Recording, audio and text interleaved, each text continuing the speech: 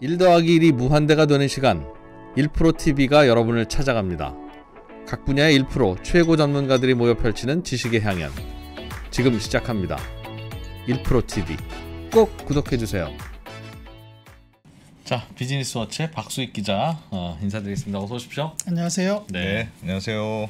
어, 최근에 락업이 해제되는 보호 예수 물량이 풀리는 네. 표현이 다양하죠. 네. 뭐, 또 보호 예수, 게 있습니까? lock-up. 네, 보호 예수 뭐 lock-up 음, 의무 오- overhang 보유. 뭐 예. 네. 왜 이렇게 영어가 많아? 어. 그래서 일단 오늘 용어를 좀 정리를 해드리고 네. 그리고 그 어제도 아침에도 제가 봤는데 김프로님도 이 얘기를 하셨는데 네, 네. 카카오뱅크, 크래프톤, SK IE 테크놀로지 세 개 사실 그 외에도 더 있긴 한데 네. 음. 작은 회사라 언급 잘 안 되는 것 같아요. HK 이노엔 이런 회사들도 이번 주에 lock-up이 해제되는데 세개 회사 조금 음, 대체적으로 언론 보도들이 정리가 잘 되긴 했지만 일부 표현들이 좀 섞이거나 음. 아니면은 표면적으로 나타낸 문제 외에 조금 디테일하게 들어가 예. 볼 필요도 있지 않을까 예. 싶어서 준비를 했고 아. 요거 외에 제가 조금 더 I, SK IE 테크놀로지에 대해서 조금 더 알아보려고 하는데요. lock-up에 네. 이게 예. 제가 컴퍼니 백브리핑 처음 나왔을 때 첫 코너에서 그 SK 케미칼과 SK 바이오 사이언스 지분 음. 문제하고 거의 똑같은 상황. 음. 예. 근데 이게 다 물적 분할에서 시작된 네. 문제인데 그러면서 물적 분할에 대해서 조금 한 번더 음. 말씀을 드리는 식으로 오늘은 예민한 거 두 개를 다 하네요. 예. 보호 예수에다가 물적 음. 분할까지. 예, 예. 야. 뜨거 뭐- 뜨거울 것 같은.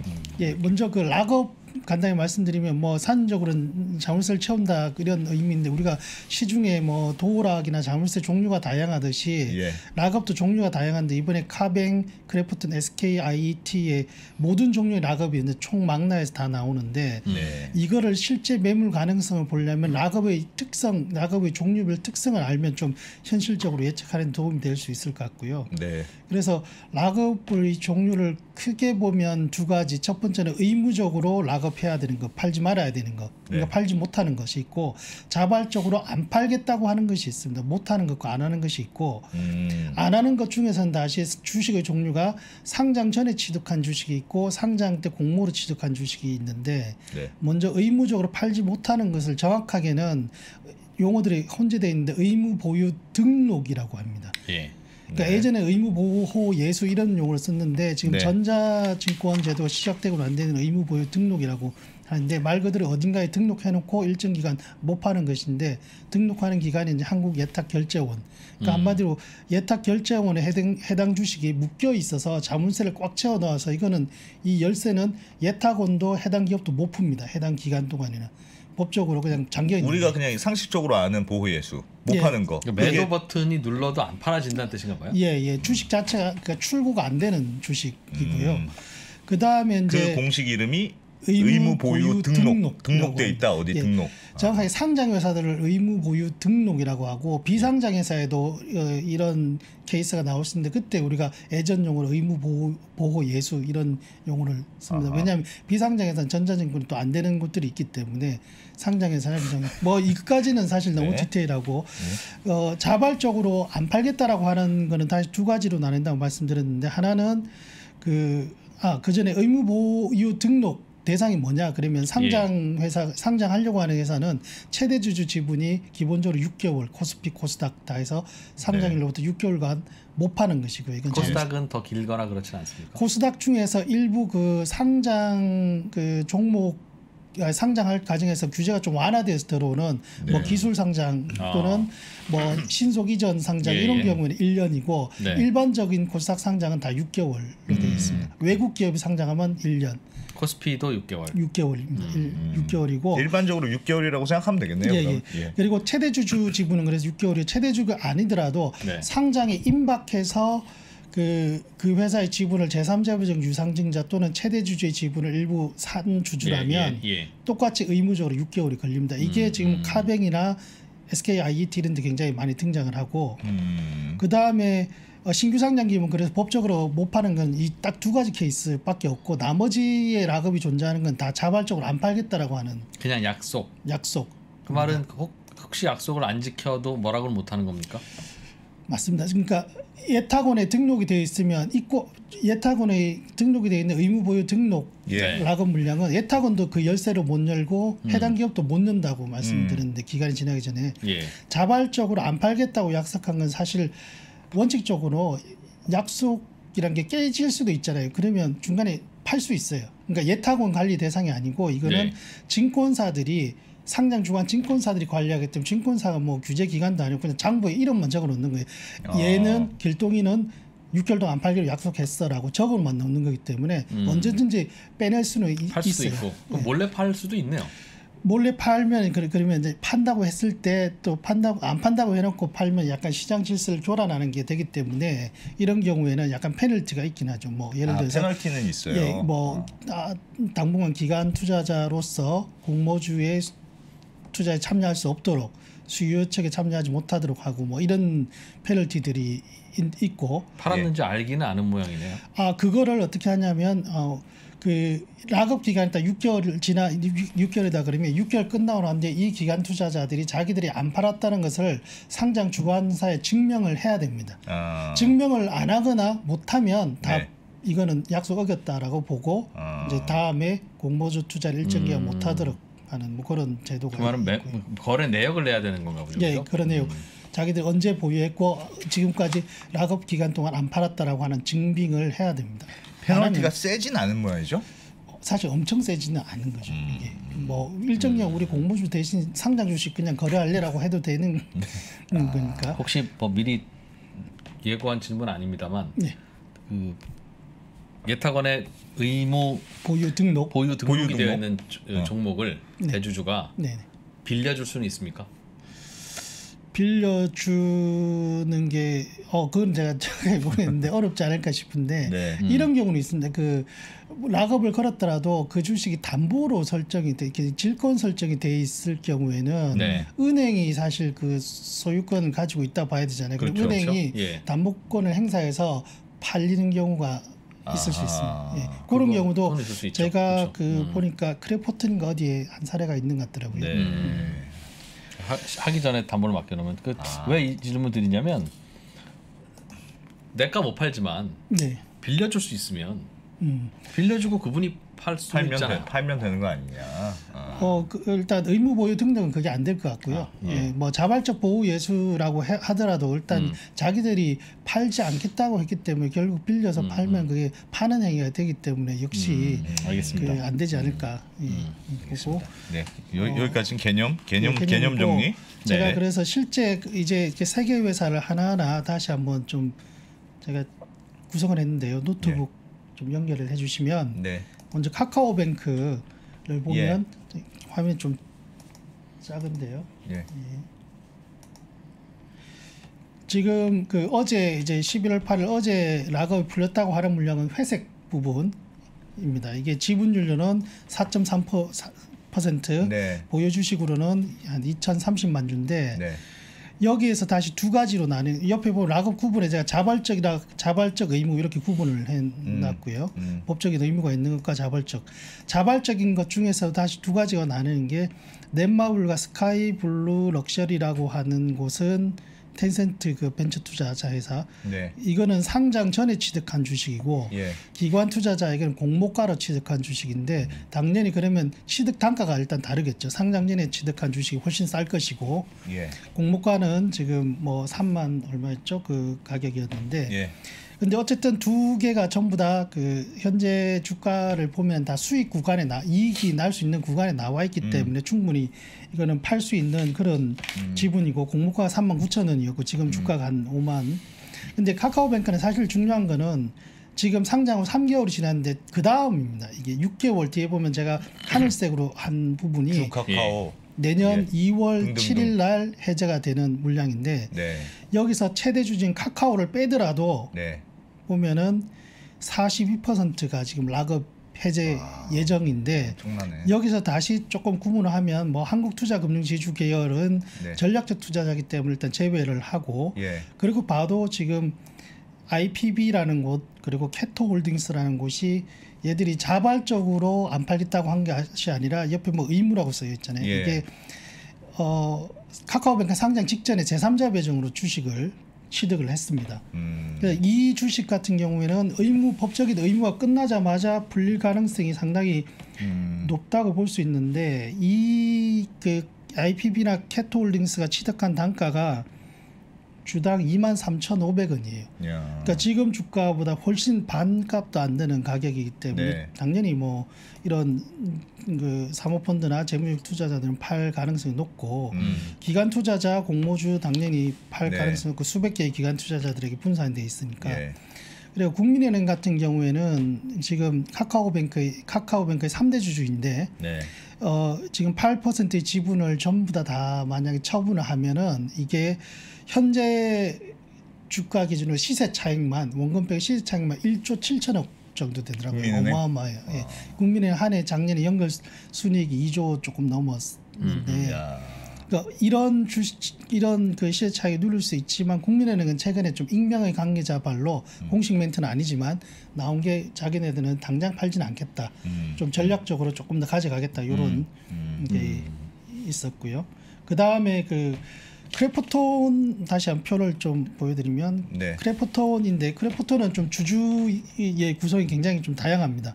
그래서 이번에 그 크레포톤이 오늘 11월 9일까지 락업이고 예. 내일 락업이 풀립니다. 지금 내일 풀리는 물량이 회색 물량인데 지분율로는 알토스하고, 예. 이게 8.3% 이것도 적지 않은 물량이죠. 근데 여기 이 지분은 어 우리가 크레포터는 일반 그 언론 보다 보면 이런 얘기들이 나오거든요. 공모가보다 지금 현재 공모가가 49,800원, 8,000원이었는데 현재 주가가 약 44만 원, 그러니까 5만 원 정도 낮아요. 네. 그러니까 이게 지금 공모가보다 주가가 낮으니까 이거 손절 구간이어서 물량이 잘 안 나오지 않겠느냐 이렇게 이런 기사들도 많은데 음. 이 락업의 종류가 두 가지입니다. 지금 내일 풀리는 게 하나는 네. 기, 기관 투자자 공모주는 그 말이 맞아요. 기관 투자자의 공모주는 공모가보다 현재 주가 낮기 때문에 손절 구간이어서 예. 팔지 안 팔지 모르는데 그 네. 위에 지금 알토스 뭐 이런 어, 심지어 땡땡땡 익명의 그 개인 투자자 이런 사람들은 공모전 주주기 때문에 공모가보다 훨씬 낮은 가격에 샀을 것이고 음. 참고로 뭐 예전에 크래프톤이 상환 전환 우선주 같은 거 발행할 때 주당 보통 전환 가격 3만 원뭐 이랬기 때문에 네. 상당히 낮은 가격에 샀을 것이고 이 물량은 내일부터 이제 lock-up이 풀리면 충분히 이익 실현 구간에 너끈하게 들어와 있기 때문에 물량 부담 가능성이 있다는 말씀을 음. 드리고 크레포톤도 마찬가지로 사실 지금 상장은 3개월이 지났는데 6개월이 지나는 내년 2월 12일 날 추가적으로 물량이 풀리는데 이게 예. 지금 지분율이 보면은 30%의 물량이 예. 내년 2월 초에 음. 풀리는데 하나하나 따지고 보면은 반드시 안 나온다라고 볼 수 있는 물량이 없어요 여긴.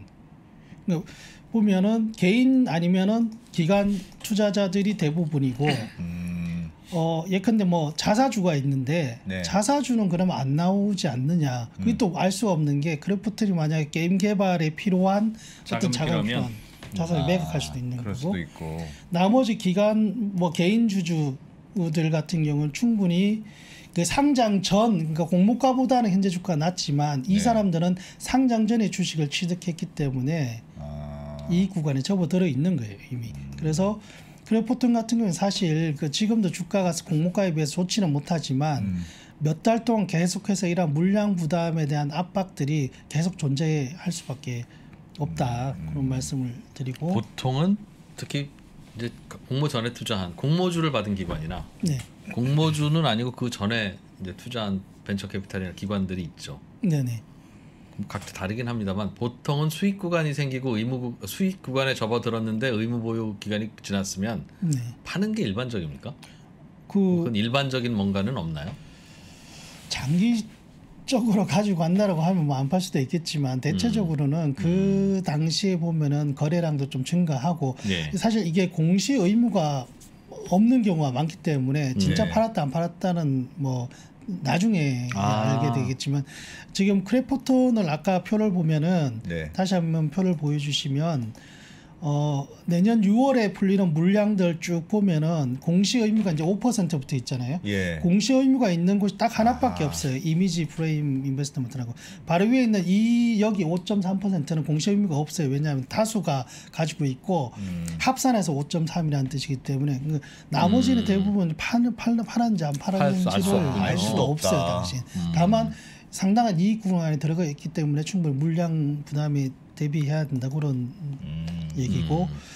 크래프톤에서 하나 좀 보면은 장병규 이사회 의장이라고 창업주 예. 이게 태- 최대 주주는 6개월 의무 보유 등록이라고 말씀드렸는데 장병규 의장은 6개월 플러스 알파로 6개월 더 했어요. 그래서 총 음. 1년 lock-up. 예. 그런데 일반적으로 이렇게 거는 경우도 많고 그냥 6개월만 딱 하는 경우도 많은데 그게 바로 뒤에 제가 보여드릴 SKI 테크놀로지 예. 인데요. 맞아. SKI 테크놀로지를 말씀을 드리고 어, 본격적으로 또 예, 말씀을 드리겠습니다. 그 SKI 테크놀로지 보면은 이제 내일까지가 락업이고 내일 네. 모레 풀립니다. 11월 11일 날. 네. 종류가 딱 세 가지예요. 먼저 기관 투자자 공모주 4.2% 이것도 물량이 적지 않은데 음. 이 물량 지금 공모가가 10만 5천 원이고 지금 주가가 한 15만 원대여서 충분히 수익 구간에 들어와 있기 때문에 음. 풀릴 가능성이 매우 높고 기관 투자자 공모주라고 제가 썼지만 예. 이 공모주를 가지고 있는 기관이 한 200개 정도 됩니다. 그러니까 다 분산되어 있기 때문에 음, 음. 풀린다고 봐야 되고 프리미어 슈페리어라고 여기는 사모펀드인데 이 회사는 제가 의무라고 lock-up 구분에 써놨는데 어, 자발적으로 야- 안 팔겠다고 한 게 아니라 못 파는 거예요 지금 왜냐하면은 SKIT가 이제 상장하기 직전에 역시 제3자 배정으로 들어온 아. 그러니까 지분을 취득한 음. 곳인데 예. 취득 단가가 지금 공모가가 10만 5천 500원, 5천 원이었는데 예. 이 프리미어 슈페리어는 상장하기 한 6개월 전에 유상증자를 하면서 공모가의 절반인 4만 7천 원에 이 야. 주식을 샀어요. 예. 어떻게 보면 사실 6개월 6개월 전에 만에. 야. 예, 6개월 만에 더블 그리고 아. 현재는 따따블인 거죠. 음. 4만 7천 원짜리가 지금 한 15만 되니까 따따블. 네. 이거를 안 파는 게 더 이상한 음, 상황이고 음. 자, 그, 그, 그 다음에 이제 어, 남은 게 SK 예. 이노베이션입니다. SK 이노베이션, 그러니까 최대 주주의 지분은 일반적으로 락업은 그냥 형식적이고 요식행이고 안 파는 게 일반적으로 맞죠. 예. 그래서 아까 카카오뱅크 의 대주주인 카카오 또 크래프톤의 대주주인 장병규 의장 같은 경우에는 지분율이 한15% 20%밖에 안 돼요. 예. 그러면 그 지분을 판다는 것은 사실 경영권을 매각한다는 뜻이기 때문에 음. 안 팔겠죠. 사실 사- 돈이 필요하면 그걸 가지고 담보 대출을 받는 게 네, 낫지 네. 안 파는데 SK 이노베이션에 지금 보면 지분율이 61.2% 아, 너무 50%가 많- 훨씬 너무 넘기. 때문에 아. 이제 반드시 안 팔 것이냐 이- 음, 그렇게. 볼 수 없고 이거는 충분히 물론 이제 속도 조절을 해야 되겠죠. 프리미어 슈페리어가 음. 먼저 exit 예. 하려고 할 것이고 예. 그 상황에서 이노베이션이 똑같이 하면 이거는 주가를 완전 히 내팽개치겠다는 것이니까 음. 속도 조절을 하면서 언제 어떻게 우리 아, 우리는 어떻게 해야 되지라고 이제 판단을 하겠죠. 음. 근데 이 상황이 이제 이제부터 제가 좀 말씀드릴 것이 이 상황이 제가 처음에 이 컴퍼니 백브리핑에서 SK 케미칼과 SK 바이오 사이언스를 한번 말씀드렸는데 음. 간단히 다시 좀 그 reminding 해드리면 케미칼이 백신 사업부를 물적 분할해서 바이오 사이언스를 만들고 상장을 해서 구주 매출로 상장을 해서 일부 현금을 확보하고 그리고 남은 물량이 68%의 지분이 있었어요. 예. 그리고 그 그게 뭐 6개월 의무 보유 기간이 지난 9월 달에 끝났 고 네. 지금 팔 수 있는 기간인데 아직 팔지는 않고 있고 의무 보유 기간이 끝나기 전에 외국계 헤지펀드 메카트리카라는 헤지펀드와 국내 주주들이 이제 요구를 했죠. 음. 어 이거 이 주주 가치를 높여라. 그래서 바이오상에서 지분 일부를 팔아서 음. 특별 배당을 해라. 네. 이런 요구를 했는데 SK 케미칼이 거기에 대해서 직접적인 화답을 하지 않고 무상증자를 하고 배당 성량을 높이겠다. 이렇게 이제 음. 맞아요. 간접적으로 화답을 네. 했다고. 음, 음, 음. 그랬더니 이제 거기에 대해서 이거는 부족하다. 어. 그래서 그 다음에 이제 SK가 하는 의사 결정에 대해서 좀 반대 의결권을 집결시키고 뭐 이런 예. 얘기들. 음. 그래서 현재 진행형이에요. 사실 이게 음. SK 바이오, 아, SK 케미칼은 바이오에 대한 지분을 여전히 가지고 있지만 예. 순차적으로 지분 매각 시기를 조율을 할 것이고 아. 이거를 계속 68%의 지분을 가지고 있지는 않을 것이다. 아. 왜냐하면 물적 분할을 했을 때는 지분을 100% 자기들이 온전히 가진 상황에서 현금을 확보하기 위해서 하는 것이기 때문에 예. 50%가 넘는 지분을 계속 가지고 있을 이유는 없는 음, 음. 것이고 아, SK 이노베이션과 SK IE 테크놀로지의 관계 똑같은 관계 그죠. SK 이노베이션이 2019년 4월에 이 2차 전지 분리막 부분을 분할해서 만든 게 SK IE 테크놀로지인데 네. 음. 어 그리고 난 뒤에 이제 상장을 시키고 구주 매출로 일부 현금을 확보를 하고 그 다음에 이제 남아 있는 게 62% 61%고 예. 이제 락업 기간에 내일모레 풀리면 당장은 아니겠지만 지분 문제가 불거질 것이고 이 과정에서 또 어떤 주주들이 주주 가치 제고를 높이라 또 목소리를 아, 할 가능성이 시나리오가 나올 대잡이- 수 있겠네요. 예. 아. 음. 그러면 아무리 대주주라도 안 판다는 보장은 없다. 예, SK 이노베이션 역시 사실 SK 이노베이션 사실 지금 논란이 되고 있는 거는 이게 SK IE 테크놀로지는 2019년에 분할을 물적 분할을 했고 최근에 9월 달에 물적 분할을 한 게 이제 논란이 뜨거웠던 배터리 네. 이 2차 전지 배터리 부분을 또 분할을 했잖아요. 예. 이 회사도 지금 이 회사 이름이 이제 SK 온이라고 해가지고 예. 분할 다 통과를 태- 했는데 이 회사도 상장을 하면은 또 현재는 물적 분할했기 때문에 SK 배터리 이 SK 온이라는 회사의 지분도 현재는 100%를 가지는데 음. 상장을 하는 과정에서 또 이제 구주 매출 일부 현금을 확보할 것이고 음. 또 6개월 락업 끝나면 또 이제 지분 어떻게 할 것이냐 음, 한70% 똑같은 문제 또 발생을 하는데 그 먼저 이게 뭐 생긴 거예요 지금 음. 야. 제가 좀 설명이 너무 장황했네요. 아닙니다. 근데 그게 음, 뭔가 관행이 생기거나 네. 하면 좀 많은 변하겠네. 앞으로 또 상장하는 기업들에 대해서는. 그렇죠. 그 일단 가장 그래서 시험대에 사실 놓였던 게 SK 케미칼이 현재도 현재 진행형으로 시험대에 놓여 있는 상황에서 음. 예, 예. 이제 SK 이노베이션 1차 SK 음. IE 테크놀로지 지분 문제 1차. 그다음에 이제 배터리 분할한 배터리 배터리를 분할해서 SK 온이라는 회사를 만들었고 네. 석유 개발 사업을 분할해서 SK 어스 온이라는 회사를 두 개를 이제 이번에는 물적분을 두 개. 그러니까 원래 한 몸이었던 회사에 세 개가 떨어져 나온 거죠. SK 예. IE 테크놀로지, SK 온 배터리, SK 어스 온 석유 개발. 예. 이걸 다 상장을 또 시키면 계속 이제 1차, 2차, 3차 아하. 계속 나, 음. 나오는 문- 문제이고 음. 여기서 한번 좀 생각해 봐야 될 게 그러면 아, 이런 상황에서 계속 이런 물적 분할, 네. 상장 그리고 락업 해제 지분 어떻게 할 것인가 주주들은 요구를 하고 음. 물적 분할 마음에 안 들어 하죠. 대체로. 모 회사가 예, 자금을 조달하는 방법 중에는 방금 말씀하셨던 물적 분할 후 상장한 후에 대주주 지분을 시장에 매각하는 게 네. 제일 좋죠. 제일 좋겠죠. 물적 분할 예 음, 그렇죠 예. 그러니까 그 모 회사가 자금이 필요하면 모 회사가 직접 유상증자라거나 하면 음. 지분 희석이 될 텐데 그렇죠. 일단 사업부 하나를 물적 분할하고 그걸 상장시키고 근데 그 음. 지분을 또 그것도 팔고 이러면 야 그거는 진짜 예를 들면 그냥 물적 분할하는 게 아니고 사- 물적 분할해요. 예. 그래서 자회사 상장시켜. 음. 그럼 지분이 내가 너무 많아. 예. 그래서 또 주식까지 팔아. 야 그러면 진짜 한 두세 방 맞는 기분이겠는데. 그래서 그 제가 사실 그 동안 보면 주식 시장에서 이론적으로 예. 분할, 물적 음. 분할이든 인적 분할이든 이제 기업 가치는 변동이 없다라는 얘기를 당연하게 이제 써갖고 저도 예. 사실 당연하다고 생각을 해왔어요. 예. 근데 한편으로 생각해보면 기업 가치에는 변화가 없는 게 이론적으로는 마- 맞아요. 기, 기업 가치는 것은 회사의 가치인데 음.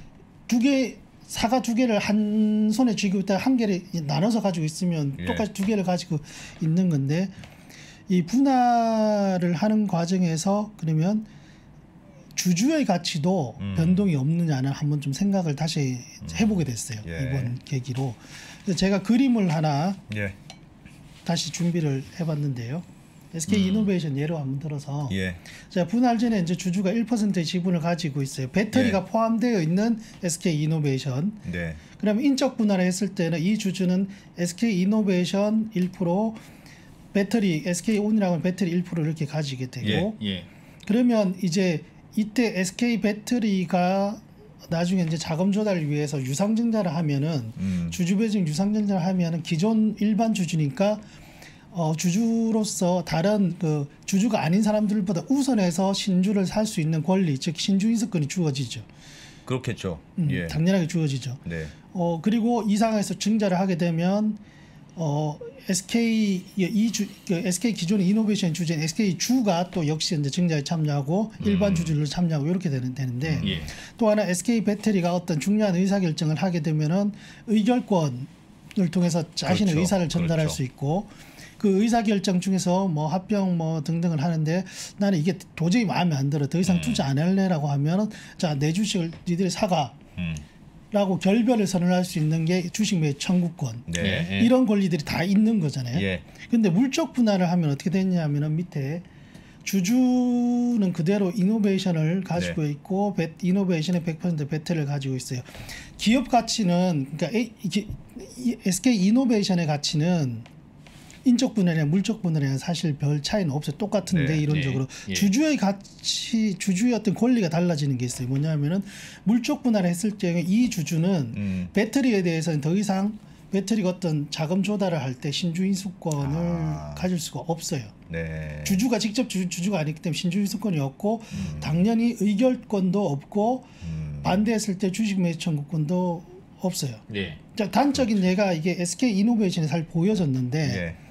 어, 요 얘기를 먼저 드릴게요. 그 SK 이노베이션이 2019년 4월에 분리막 분할해서 SK IE 테크놀로지를 만들고 네. 1년 6개월 뒤엔 작년 10월에 제3자 배정 유상증자를 했어요. 음. 그게 아까 얘기했던 프리미어 슈페리어라는 사모펀드 네. 지금 따따블란 아.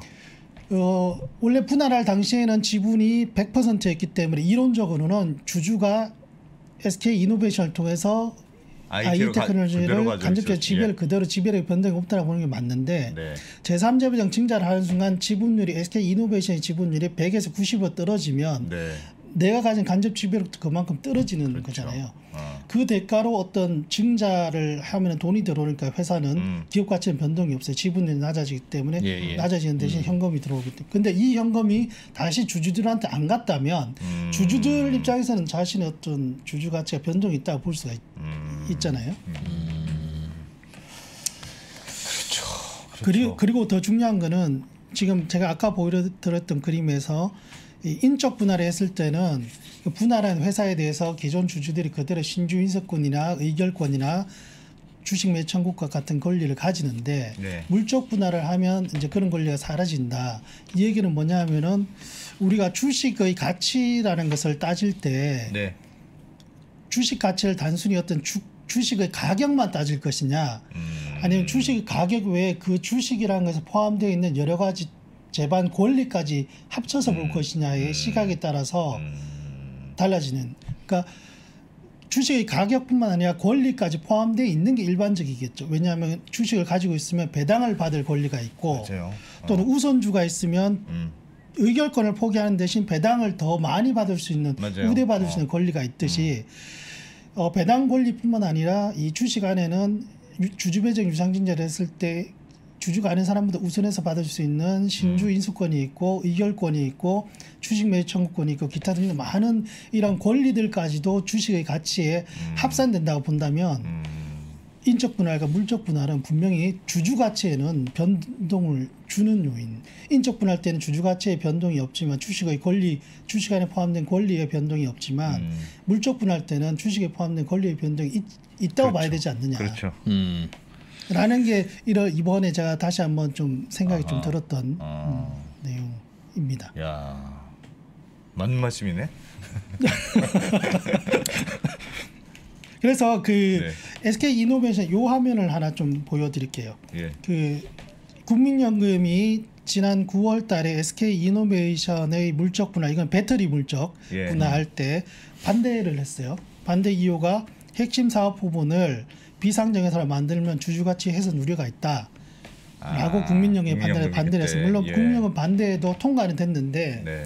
국민연금이 이 구체적인 설명을 안, 안 했습니다만 여기서 말하는 주주가치 훼손이라는 것도 음. 단시 단순히 주식의 가격뿐만 아니라 주식 안에 포함된 여러 가지의 권리도 포함했을 개념이라고 이해를 하고 있고 같은 논리로 작년인가 LG 화학이 배터리 분할했을 때도 똑같은 논리로 반대를 했었고 음. 지금 사실 시장에서 약간 또또 어떤 유력 기업 물적 분할 얘기가 나오는 것 같아요. 제가 예, 이거는 예. 좀뭐 루머 양산하는 것 같아서 어떤 기업명을 말씀드리긴 좀 어렵지만 이 회사도 국민연금 지분을 적지 않게 가지고 있는데 똑같은 논리로 이슈가 또 나올 것이고 그런 상황. 그게 그 그거예요. 그 예를 들면 네. 딸이 있죠. 네, 딸 있죠. 음, 딸을 시집 보내는 거예요. 물적 분할은. 음, 시집 딸을- 보내면 딸을 시집 남의 남의. 집 사람이 된다. 그 딸을 시집 보낸다고 해서 내 딸 아닌가요? 100% 내가 보유하고 있는 자식이죠. 그 네. 내 자식인 거는 죽을 때까지 변하지 않으나 네. 분할을 해서 음. 어, 시집을 보내면 그게 그러니까. 내 딸이 아니지. 음, 맞아요. 똑같은 거죠. 그러니까 음, 딸이 어떤 남자친구가 필요한 거는 이해가 되나 음. 어, 물적 분할은 시집 보내는 거고 음.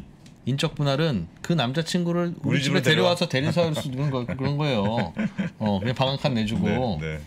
그 느낌이 같냐고요. 다르지. 음, 가- 같은 개념이에요. 그러니까. 아니 근데 저는 이게 우리 박수익 기자 말씀하신 거를 다 동의하는데 그럼에도 불구하고 시- 현실적으로 물적 분할이 이제 기존의 주주 가치 훼손이 있음에도 불구하고 네. 기업들은 자꾸 물적 분할을 하고 싶어 하잖아요. 네. 물적 분할을 해서 상장해야 음. 어쨌든 그래야 내가 자금을 들여올 수 있는 네. 거 아니냐 그렇게 주장해서 현실적으로 계속 일어나는데 음, 아 이게 주주 입장에서 참 불편하긴 한데 음. 그러면 하지 말라고 하 그냥 우리가 이 주식은 떠나야 돼 이렇게밖에 방법이 없는 건가 약간 그 이제 상법에 사실을 뭐 물적 분할 이런 걸 하면 주총원 열려야 되기 때문에 주총에서 의결권 반대해라. 네, 네. 근데 다만 물적 분할은 지난번 말씀드렸지만 주식 매청구권은 없고요. 네. 인적 분할도 마찬가지. 분할 합병 때만 주식 매청구권이 네. 있기 때문에 이제 반대 상법상 어쨌든 주총을 열도록 하고 특별기를 하도록 했기 때문에 그그 통과되면 다수결의 원칙이 통과되는 게 아니냐 이게 음. 맞는데 어 지난 지난 주에 그 금요일 날 예 경북대 로스쿨의 이상훈 교수님이라고 예. 3프로에 나오신 거를 제가 굉장히 감명 깊게 봤어요. 내용 정말 긴데 제가 네. 두 번을 돌려보면서 네. 메모도 네. 하고 제가 머릿속에 막연하게 가지고 있던 것들을 그 교수님이 굉장히 체계적으로 잘 예. 정리를 음, 음. 해 주셨는데 예. 음, 그, 그 교수님이 하신 얘기 중에 음, 어, 이런 이게 제가 상법 조항인데요. 예. 한번 화면을 보여주시면 상법 제 800 382조의 3의 이사의 충실의무 이사는 네. 무엇에 충실하게 행동해야 되느냐 네. 이사는 법령 그러니까 국가의 법, 그 정관, 회사의 규칙, 법령과 정관의 규정에 따라 회사를 위하여 그 직무를 충실하게 수행하여야 한다는 이 당연한 얘기가 예. 심각한 문제가 있, 다는 음. 얘기를 해주셨어요. 어떤 어떤 문제가 있을까요? 어떤 문제가 있을까요? 회사를 저- 위해서 아이고, 회사를 위해서 하면 이 문장에 네. 예 맞습니다. 그 회사를 위하여라는 음. 문장. 그러니까 그 동안에는 그러니까 여기서 말해 이사는 사내이사도 있지만 사회이사도 있, 있는데 네. 사내이사야 당연히 회사를 위해서 일할 테고 사, 사회이사는 뭔가를 또 이렇게 회사의 약간 경영을 견제 감시 뭐 이런 역할도 있다고 우리가 음, 음. 네. 얘기를 하는데 이게 98년대에 신설된 것이죠 외환위기 이후에 네. 근데 회사의 가치 회사를 위하여 하면은 회사의 가치 기업의 가치가 커질 것이고 음. 그동안에는 기업의 가치가 어, 좋아지면 당연히 주주의 가치도 좋아질 것이다라는 어떤 공통적인 상식 같은 게 있었는데 예. 우리나라에서는 음. 근데 최근에 이런 물적 분할 과정에서 아까 뭐 주주의 권리가 인적 분할 때는 살아 있는데 물적 분할 때는 약간 그런 신주인수거나 이런 권리도 없어지고 예. 여러 가지 논란들이 있는 것들이 그러면 기업의 가치 와 주주의 가치가 일치하지 않는 경우들도 자꾸 논란이 텐데. 생기는 것이죠. 아. 그래- 그런데 지금 이 법을 보면은 그 교수님 말씀입니다. 그거는 네. 회사를 위하여라고만 되어 있다 보니까 주주가 없다 여기에는. 이사들에게는 어. 어차피 주주 보호 의무가 상법에 없는 거예요. 아. 그러니까 보호 의무가 이사들에게 없는데 그 이사들에게 왜 주주를 그러니까 주주를 보호하라고 아. 주주를 보호 안 했냐고 이렇게 책임을 물을 수가 없다는 물을 수 있는 거죠. 근거가 없다. 예. 그러니까 음. 뭐 그렇게 해서 주주 소송을 걸더라도 어차피 안 되는 것이고 음. 의무가 없으면 의무를 짊어지지 않는 것이고 예, 없는데 예. 어떻게 책임을 묻느냐. 그래서 회사와 주주를 위하여라는 식으로 바꾸면 어. 이건 완전히 획기적인 전환점이 아, 야. 답답해서 그 그런 말, 그 맞는 거예요. 그 같은데요. 회사 입장에서는 물적 분할을 해서 예. 자금 유치를 하는 게 음. 회사 입장에서는 유리하다. 네. 그게. 어. 그 사업으로도 좋고 음. 그 자금 유치해서 뭐 그 상장을 시키면 상장 지분을 팔아도 되고 음. 그냥 사업부로 갖고 있는 것보다 훨씬 좋죠. 네. 다만 그 모 회사의 주주들 입장에서는 음. 아까 제가 말씀드렸지만 멀리 떠나보내는 거니까 음. 나쁠 수 있죠. 나쁠 수 있죠. 일단 권리들도 주주로서의 권리들도 많이 없어지고 그래서 예. 만약에 이게 주주 보호의 의무들이 조금 더 강조가 되면은 아. 물적 분할은 어쨌든 한 달이 건너서 가는 것이고 예. 주주의 권리 중에 일부가 없어지는 상황이기 때문에 근데 상법을 그렇게 바꾸면 네. 이사는 회사를 위해서 일하는 게 아니라 주주를 위해서 일한다라고 하면 회사와 주주. 그 근데 다만 회사의 이익과 주주의 이익이 충돌할 경우가 있습니다. 네. 특히 주주가 대주주일 그렇죠. 경우엔 어. 예. 대주주한테만 차등 배당해 뭐 하는 것도 그런 것들이고 그럴- 주주의 이익과 회사의 이익이 충돌할 때 음. 어떻게 하냐 둘 중에 하나 정해줘야죠 그러니까 음. 그, 그럴 때는 네가 알아서 해라라고 하면 아, 만들어 놓은 이 의미가 없고 음. 주주와 주주와 회사를 위해서 한다고 하더라도 물적 분할을 승인할 때 나는 둘 중에서 회사를 더 위했다라고 하면 그 법 위반이 아니잖아요. 그래서 이제 예. 뭐 어떤 대주주도 있고 소액주도 있는데 주주의 공통적인 이익이라는 건 있을 수 있을 것 같아요. 예. 음. 예를 들어서 물적 분할에 한 것이 주주의 어떤 권리를 상실시키는 것들이 분명히 있기 때문에 예. 음. 이런 경우에는 어떤 정한 원칙에 따라서 그냥 뭐 이렇게 한다기보다는 약간의 그게 주주들에게 조금의 어떤 뭐 배당을 더 한다든지 음. 그 물적 분할 하는 해에 뭐 이런 뭐 지금 생각나는 거지만 예. 그런 식으로 뭔가 이거는 대주주 소액주주 관계없이 주주의 공통된 이익인 거잖아요.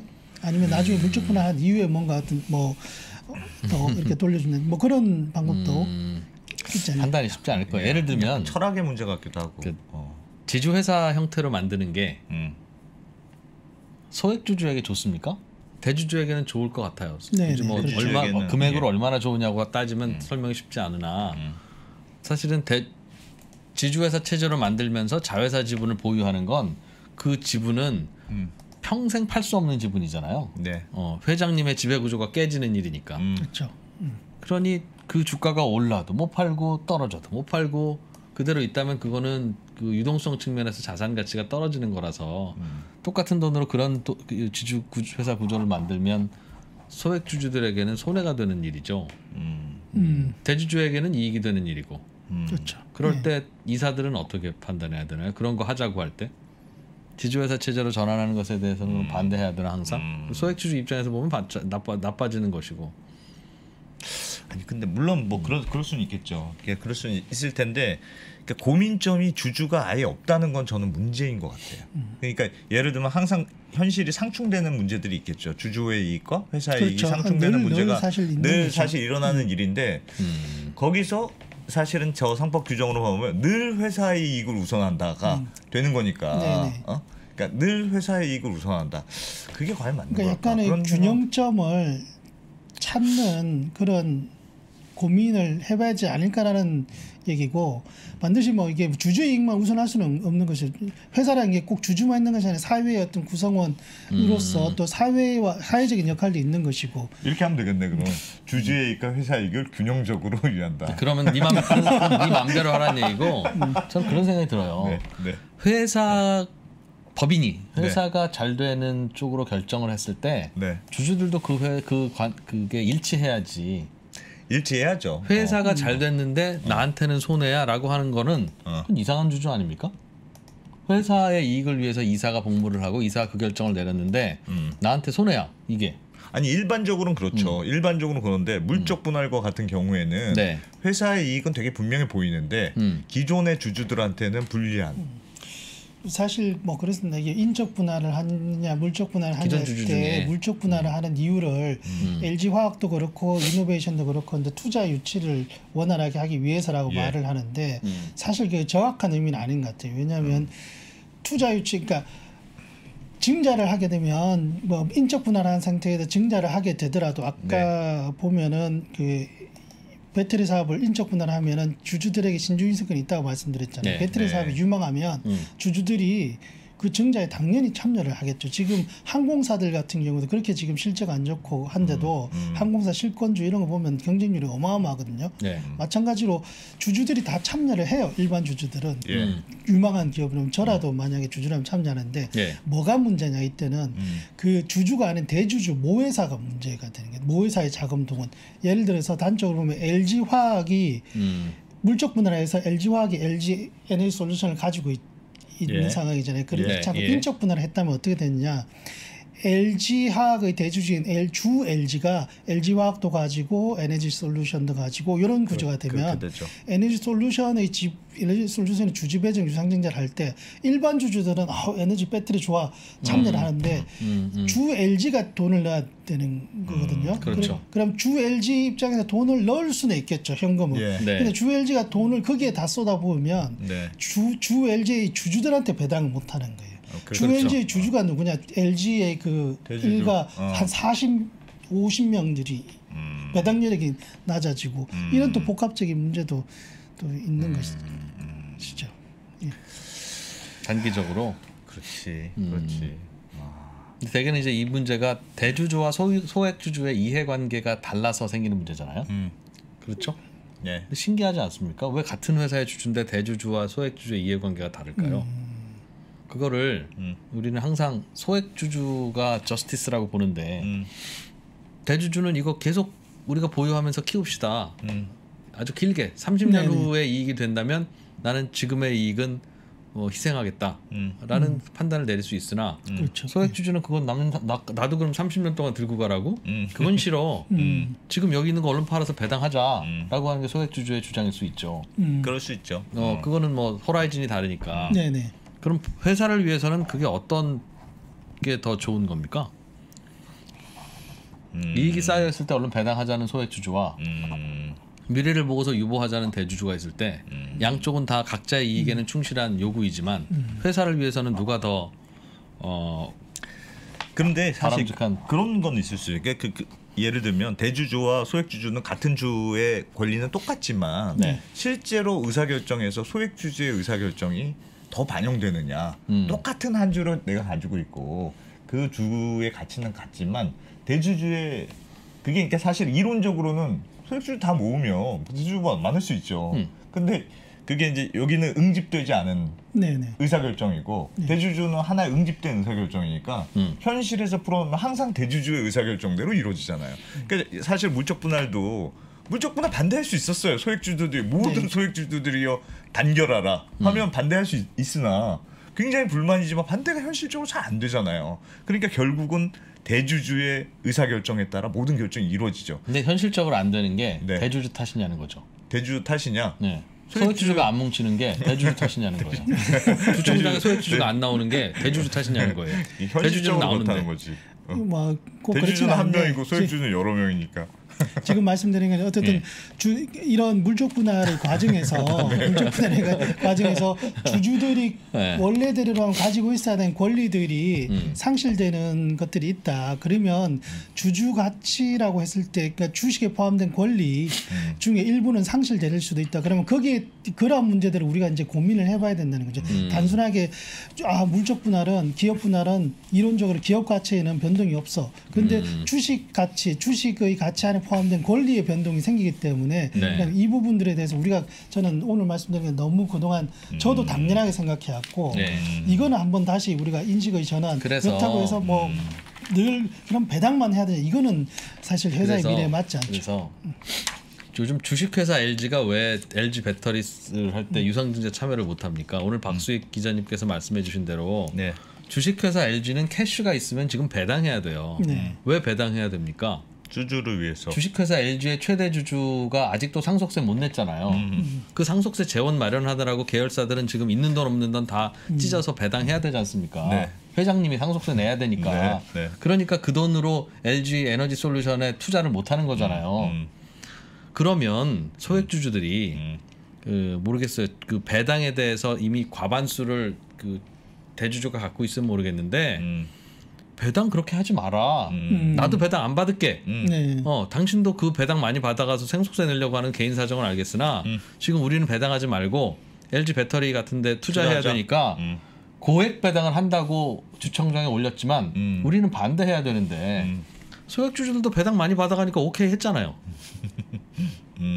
음, 나는 이 배당 받아봐갖고 주가 올라가면 팔고 나가면 그만이니까. 음, 그러니까 대주주의 이익에 복무하면서 필요할 때는 음, 뭐 그래놓고 왜 왜 우리는 분할합니까 그러면 네, 그렇지 말아야죠. 그러니까 소액주주도 권리를 주장하려면 음. 본인들도 멀리 봐야지. 음, 음, 그러니까 항상 이익이 될 때는 음, 물론 모든 게 대주주의 이익에 따라서 움직이는 것도 잘못이지만 음. 모든 게 소액주주의 이익에 따라서 가야지 옳다고 보는 것도 잘못이죠. 음. 그러니 아, 그, 이사는 마- 맞습니다. 이사는 그럼 대주주의 이익을 복무해야 돼 소액주주의 이익을 복무해야 돼라고 음. 상법에 주지 말고 음. 회사의 이익에 복무하는 게 이사다라고 음. 하는 규정이 바뀔 바뀌어야 할 것인가 하는 것은 생각해 볼 만하다는. 음. 교수님을 한번 모셔서 백분 토론을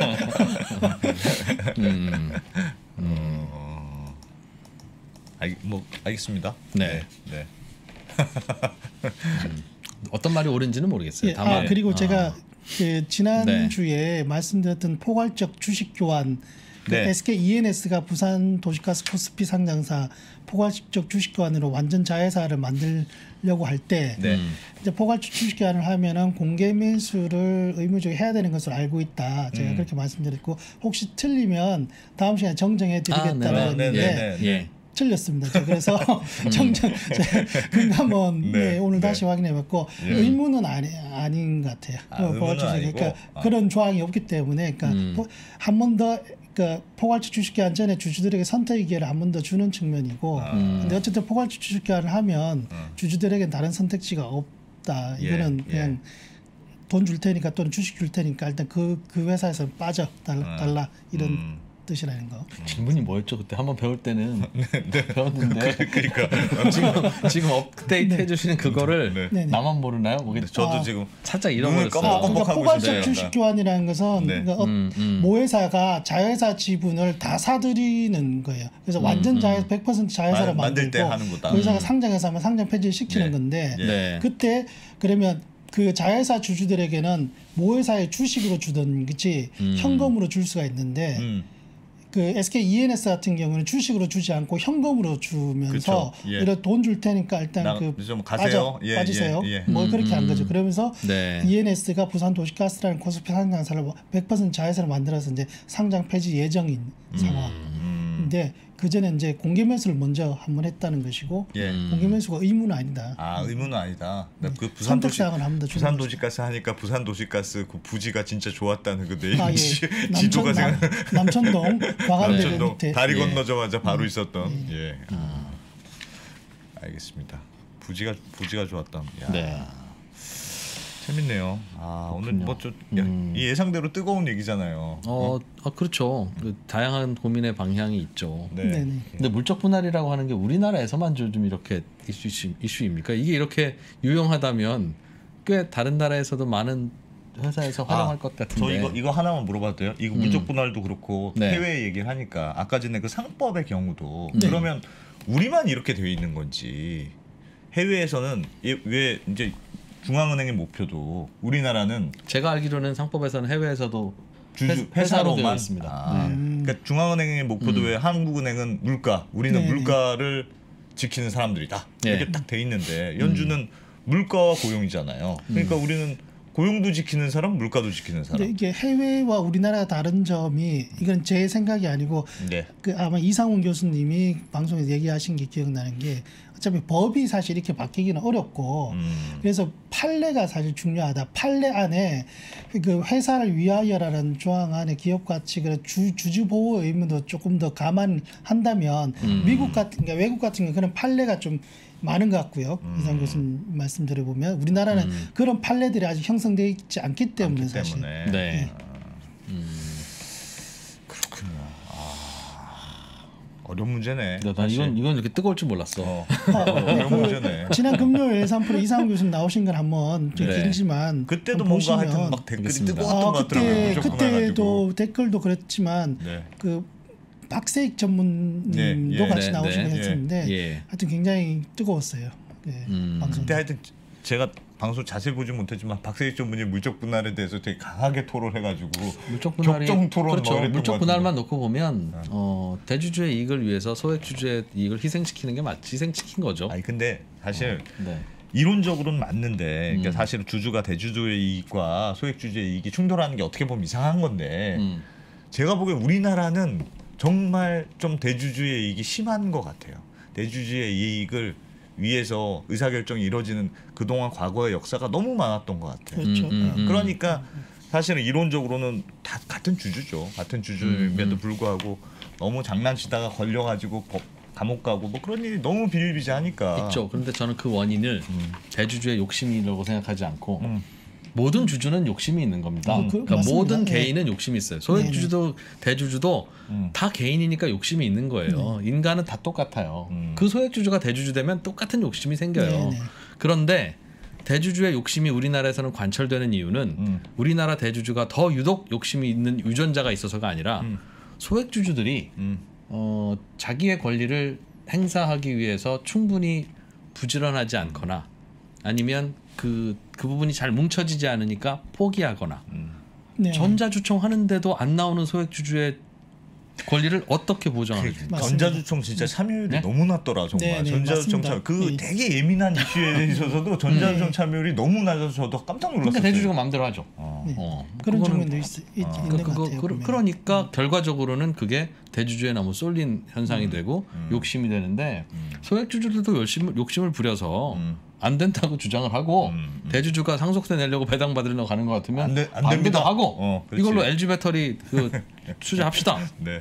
해야 되는데 물론 쉽지는 않죠. 소액 쉽지 않- 주주가 뭉치는 게 쉽습니까? 네. 그래서 이제 사실 현실적으로 어디든 미국이나 이런 데도 아마 그 소액 주주, 개별 주주 생업도 바쁘신데 그런 예. 것들 다 할 수는 없고 그래서 기관 투자자들의 역할이 중요하고 그래서 기관 투자 기관 투자자가 뭡니까 소액주주 일반 개인들의 자금을 받아서 음. 국민연금 같은 경우 노후 자금을 받아서 운영을 하기 네. 때문에 그래서 선량한 관리자의 의무가 중요하고 음. 그래서 stewardship code가 있는 것이고 국민연금이 네. 이렇게 주주가치 훼손에 위반하니까 반대표만 던질 것이 아니라 음. 조금 더 국민 stewardship code에 들어가 있는 행동을 하면서 대화를 그러니까 할 수는 있어야 되는 음, 상황이 그 아닐까. 주총에서 나는 반대요 할 게 아니라 네. 야, 잠깐 면담 좀 하자. 나. 국민연금인데 음. 네네.